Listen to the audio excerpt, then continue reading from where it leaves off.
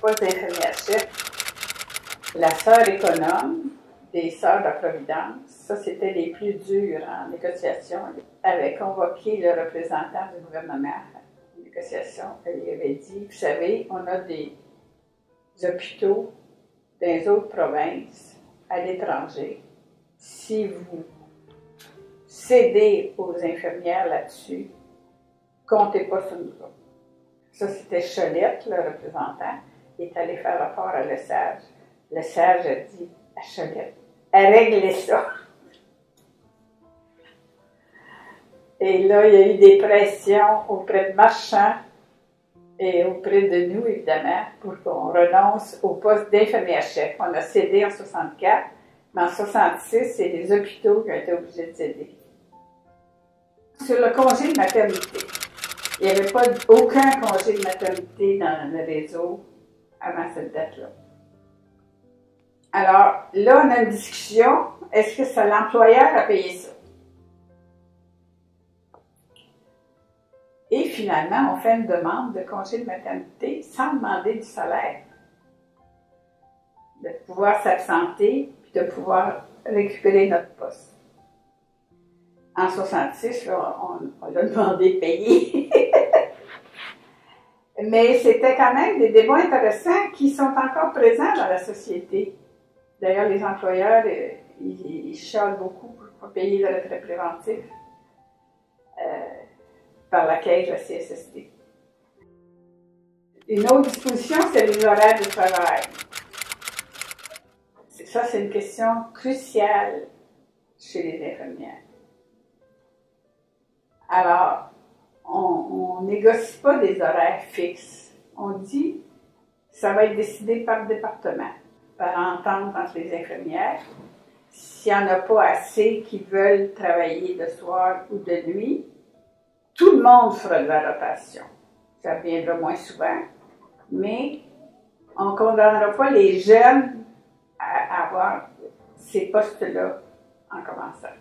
On trouvait même au plan professionnel que c'était pas intéressant que ce soit les jeunes qui soient tout seuls le soir nuit.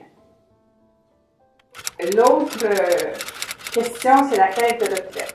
Les infirmières n'en voulaient pas. Ils n'en voulaient tellement pas qu'on a fait venir Jean Marchand à une assemblée générale pour essayer de les convaincre. Juste les infirmières syndicales de CSL. On a créé ce fonds-là, le premier régime de retraite collective dans les hôpitaux d'ailleurs. Il a fallu vraiment se battre avec l'Assemblée générale pour convaincre les, membres qu'il en fallait un fonds pension. D'ailleurs, après, les infirmières nous remerciaient tellement. Les vacances. Nous autres, à l'Hôtel Dieu, on avait toujours eu quatre semaines de vacances. C'était resté de notre cours d'infirmière, tu sais. Ça, c'était en Amérique du Nord, là, c'était comme rare. Et euh, là, on l'a étendu à toutes les infirmières de la CSN. Les autres suivaient après, hein la formule du comité de de l'Hôtel-Dieu, améliorée à Sainte-Justine, on l'a étendue à tous les hôpitaux. C'était un comité paritaire où on pouvait euh, amener nos problèmes de fardeau de travail ou d'organisation du travail. Et si on ne s'entendait pas avec l'employeur, le ministre pouvait nommer un médecin qui agissait comme arbitre. il y avait aussi la formule REM qui avait été acquise à Saint-Justine. Elle a été étendue à tout le monde en 1966.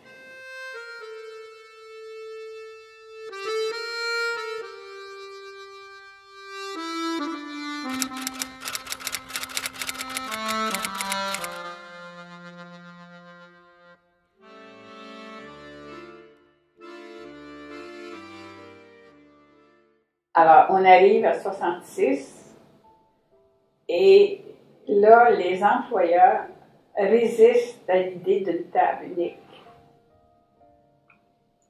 Mais on se présente, on, force la note. Le gouvernement, finalement, à, ce moment-là, le gouvernement était intéressé à, avoir une seule table de négociation. Parce que il se passait toutes sortes d'affaires la région. Tout à coup, il y avait un hôpital qui obtenait des conditions beaucoup plus avantageuses qu'ailleurs. Tu sais.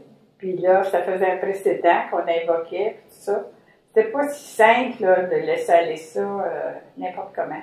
Alors, le gouvernement Parizeau en particulier, qui était un conseiller important à ce moment-là, était d'accord avec nous. Fait que finalement, on a eu la centrale. Du côté patronal, ils n'étaient pas trop intéressés à ce que le gouvernement prenne la place des négociations. Dans les délibérations du Conseil des ministres que j'ai pu relever, le SER dit au Conseil des ministres, il va y avoir une grève dans les hôpitaux, mais il faut la prendre. La grève est extrêmement structurée, planifiée, euh, on commence à telle place, peut-être, peut-être.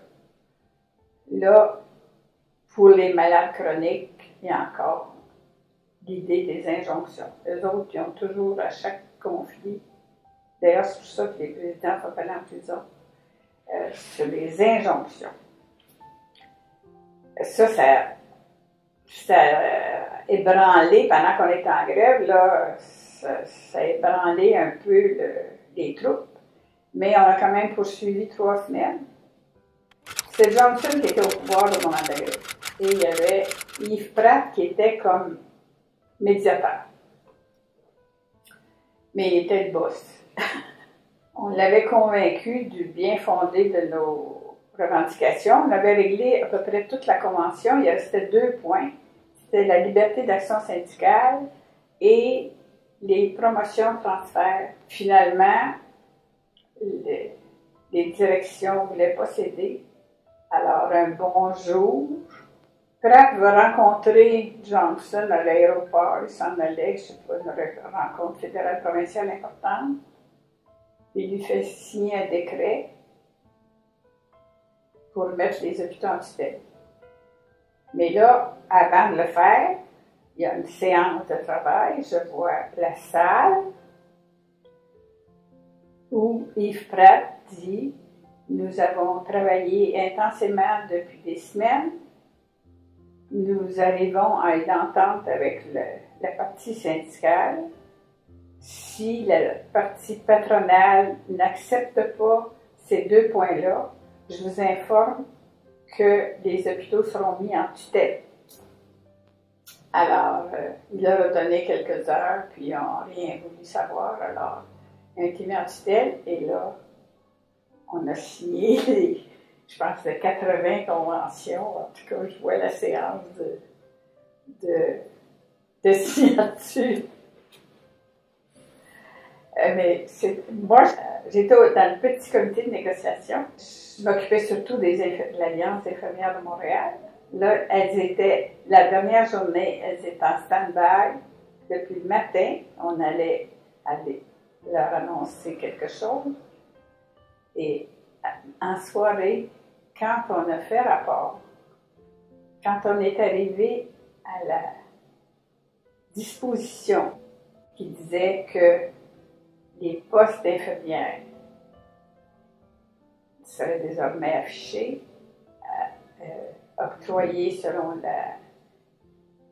l'ancienneté à condition que, l'infirmière ait la compétence pour le poste, y compris pour les postes d'infirmière chef, c'était le délire dans la salle. Le reste, là, c'était comme pas important. C'était de briser ces privilèges-là des religieuses. Je pense que c'est, on ne dirait jamais assez comment c'était important. C'est comme, euh, je dirais que 62-66, c'est une même négociation qui, qui se poursuit dans le fond. On avait un idéal sur les conditions de travail, mais sur la qualité des services de santé. C'était constamment présent les deux. En 69, là, il y a, il y a un rattrapage salarial plus important. La parité des salaires, on l'atteignait le dernier jour de la convention. Ça, ça faisait que, en Gaspésie, par exemple, c'était un rattrapage incroyable. Une aide de département gagnait tout à coup 25 heures de plus par semaine, sur, un salaire en bas de 100, 100 piastres. Et euh, par contre, les gens de Montréal en particulier, ils n'avaient pas avancé beaucoup.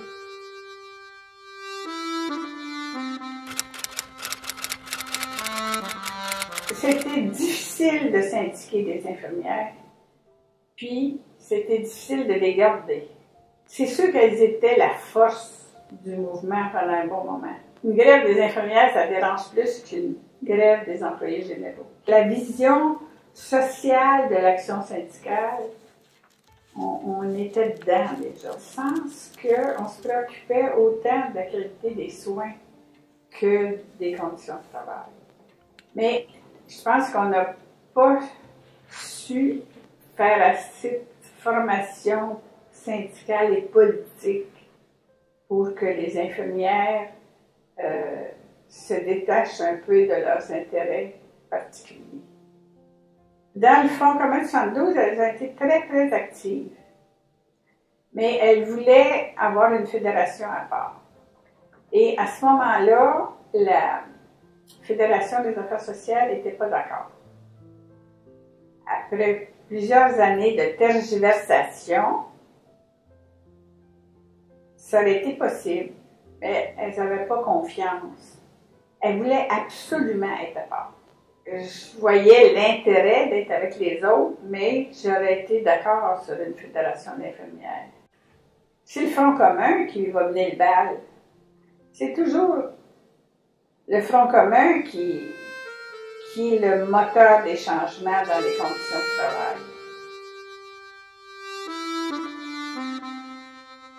En 69, le gouvernement adopte la loi de la régie d'assurance maladie il dépose un projet de loi de l'assurance maladie, mais il l'adopte pas. Et cette euh, loi prévoit que la régie a le mandat de préparer le système d'assurance maladie pour le 1er juillet 70.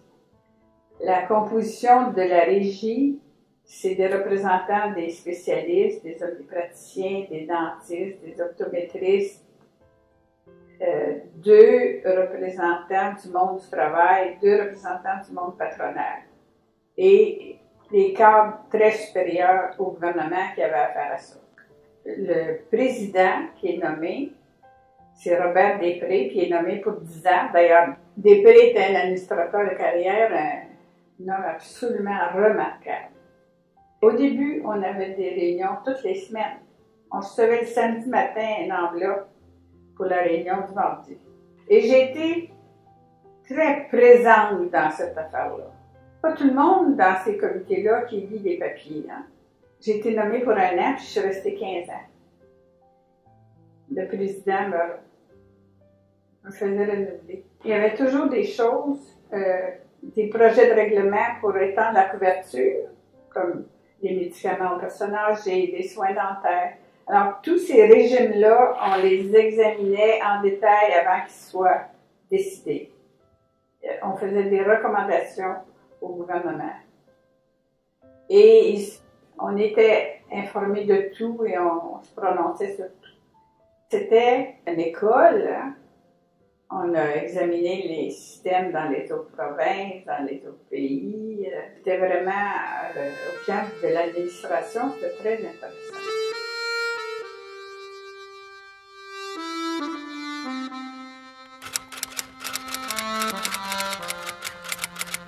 Le gouvernement a présenté un projet de loi qui ressemblait à celui que l'Union nationale avait présenté avant de se faire battre. Et il y avait le même nom, c'était le P8, là, loi de l'assurance maladie. Bon. Là, il y avait, y avait des choses qui étaient intéressantes. Ça définissait mieux le champ de, qui serait couvert, tous les services médicalement requis et le statut des médecins. Il, était libre d'adhérer ou non au régime. OK? dans le projet de l'Union nationale, s'ils n'adhéraient pas, ils ne recevaient rien de la régie, ils ne recevaient rien du public. Dans la version de Castonguay, qui se prétend le père de l'assurance maladie, un médecin pouvait se désengager à moitié, dans le fond, s'il ne voulait pas accepter les honoraires de la régie. Le malade le payait, mais le malade aurait pu être remboursé jusqu'à 75 du montant négocié. Alors, ça ouvrait la porte complètement au dépassement d'honoraires. Ça n'avait pas de bon sens. Il avait tricoté ça avec la FMSQ avant de présenter ce projet. Alors, les centrales, là, on s'est immédiatement organisé pour réagir à ça publiquement. Et en plus, Castonguay avait décidé qu'il n'y avait pas besoin de commission parlementaire parce qu'il y en avait eu avant sur l'autre projet de loi. Entendre les centrales et ça, se passait juste entre les députés. Alors, là, on, s'est présenté au comité parlementaire, c'est pas une commission, là, quand c'est juste les députés. Et on a insisté pour être entendu. Le, euh, Camille Lorraine nous a donné un gros coup de main à ce moment-là, puis euh, même le crédit social. Alors finalement, on a été entendus et euh, les, les séances ont été suspendues pour qu'on puisse discuter avec les médecins. Alors, chaque soir, on rencontrait, on était trois, quatre, hein. il y avait la berge, euh, Pépin, moi, puis un permanent de la FTQ.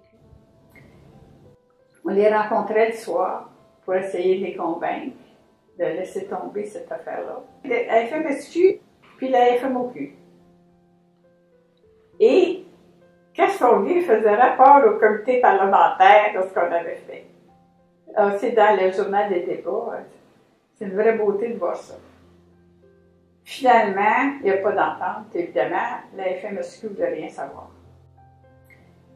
Et là, euh, le gouvernement adopte quand même la loi.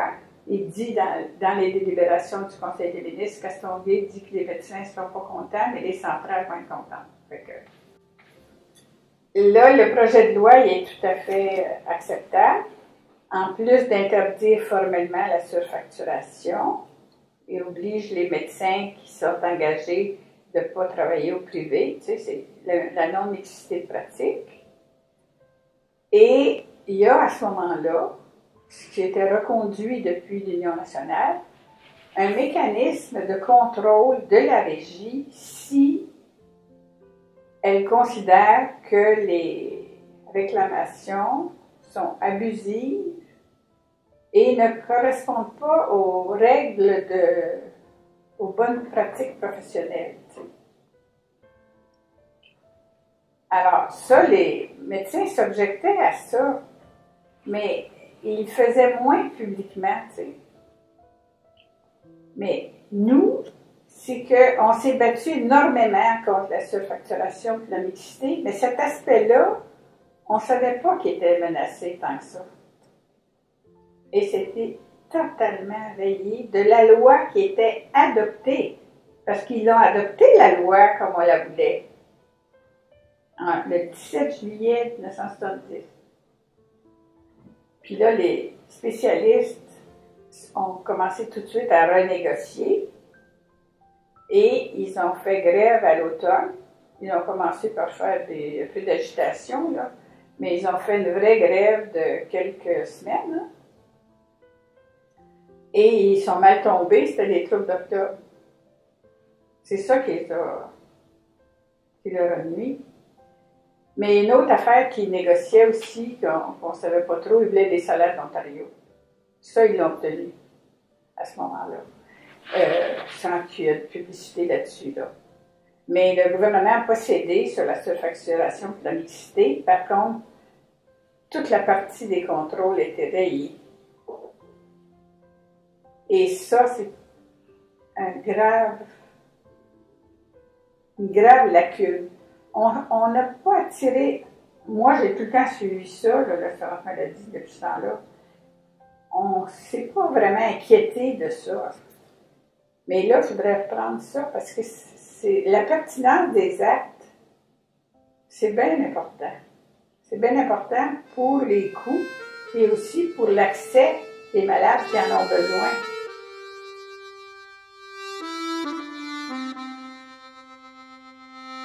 Faut que été membre du comité féminin de la CSM en dès 62. On était un groupe petit, on avait une belle représentation des femmes.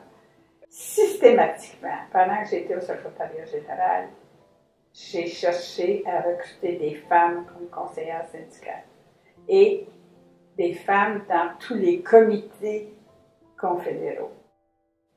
Les droits parentaux, là, ça c'est beaucoup, ça a été beaucoup travaillé par les centrales, hein, avec des scientifiques aussi, euh, des, des, avocats, des, biologistes. Euh, il y a eu euh, un beau concert de, de personnes qui ont fait avancer les droits parentaux. Puis il faut reconnaître que Pauline Marois, là-dessus, quand elle était ministre, elle a joué un rôle parce que c'était pas facile de passer au Conseil des ministres des droits parentaux qu'on a maintenant.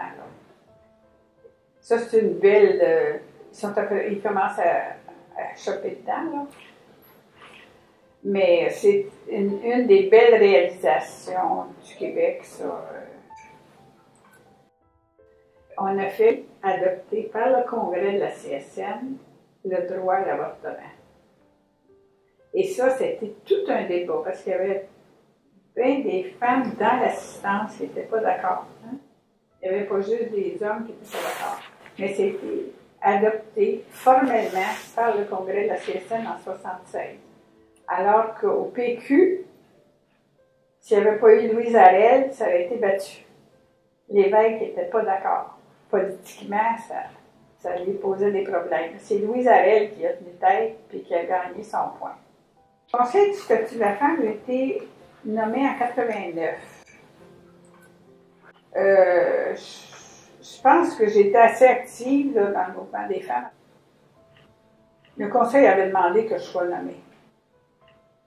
On a eu beaucoup de discussions et euh, c'était un groupe très. Il y avait des fonctionnaires extraordinaires. Il y a des recherchistes au Conseil de la femme là, sur les lois sociales en général qui étaient extrêmement compétentes et imaginatives dans les propositions.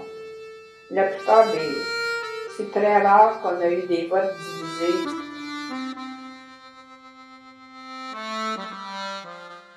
Je pense que j'ai eu beaucoup de chance.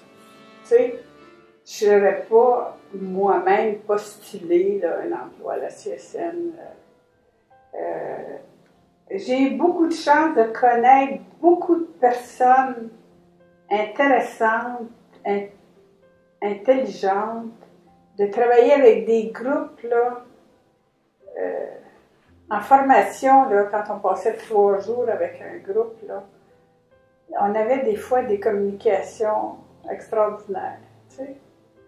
Euh, je pense que le milieu syndical, c'est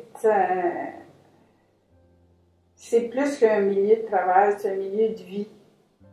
Puis, euh, on a fait des choses, euh, si on regarde la condition des employés d'hôpitaux au début des années 60, c'est sûr qu'il y a plein d'autres facteurs que le syndicalisme qui ont eu une certaine influence on a fait avancer des choses. La, condition des femmes, ça n'a pas progressé tout seul. C'est sûr que les groupes de femmes ont fait beaucoup aussi, mais les syndicats sont allés chercher des choses essentielles. Et en santé, comme je vous l'ai dit, les politiques de santé au Québec ont été un temps les meilleures Là, ça dégrade, là, mais il ne faut pas les laisser se dégrader trop. Mais on a eu des conditions intéressantes qu'on a obtenues au Québec qui ont été mises dans la loi canadienne 25 ans après. On a eu des activités multiples. Il n'y a pas eu de routine dans ma vie.